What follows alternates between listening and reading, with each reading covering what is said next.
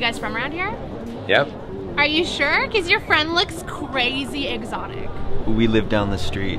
Oh, oh, we live down the street. You guys are roomies? That is so fucking cute. I love it. Do you guys have a hot tub?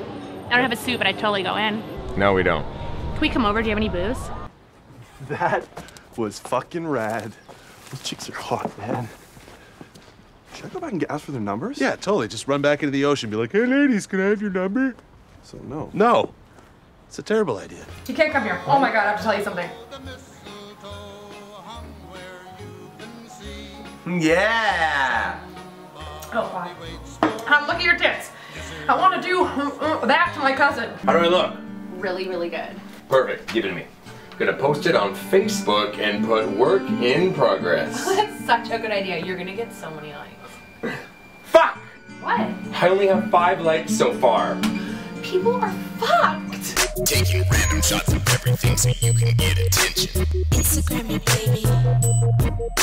That doorknob looks cool, so I got it Instagram it. A bruise on your leg. 83 likes. A pile of coffee ground. Now we're swinging. Atta girl. Woo! You wanna go higher?